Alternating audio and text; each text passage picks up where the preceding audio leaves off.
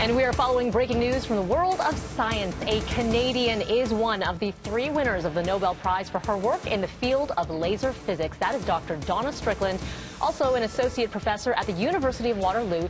She was recognized for developing a way of generating high intensity and very short laser pulses. She's going to share part of the nearly $1 million prize as she becomes get this, the first woman in 55 years to win this honor. And we continue to learn more uh, about uh, Dr. Strickland as the morning progresses, so we'll bring you more on that. Meanwhile, other stories that we're following at this hour a sister desperate to find her brother, looking for your help in getting him home safe. 31 year old Brandon McCrae, last seen around 2 yesterday afternoon in the Danforth and Don Valley area. His sister, who says McCrae is living with autism, reported him missing around 8 o'clock last night after he failed to show up at home. McCrae is described as six foot one, an average build, salt and pepper hair, was wearing a black leather jacket and gray track pants.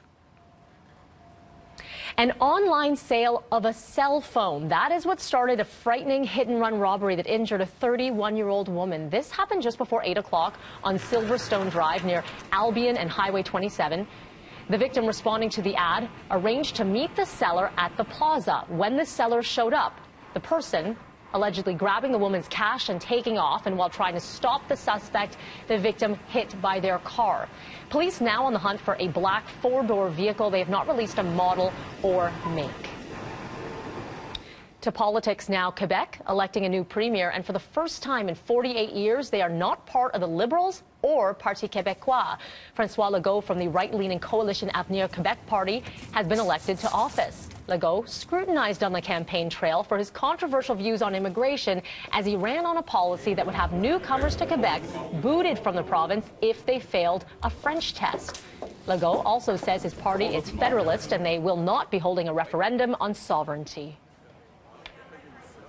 The truck driver accused in April's deadly Humboldt Broncos bus crash back in court today, facing 29 dangerous driving charges. 29-year-old Jaskirat Sidhu faces 16 counts of dangerous driving causing death, 13 counts of dangerous driving causing bodily harm. After an extensive investigation, Sidhu was arrested in July at his Calgary home. The RCMP say their probe showed evidence that the motor vehicle was being operated in a way that was dangerous to the public.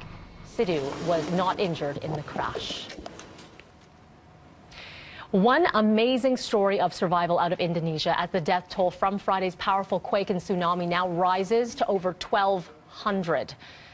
Have a look at this. Rescue workers spending three hours pulling a 38 year old man from the rubble of a building in one of the country's worst hit cities. He had been trapped since Friday.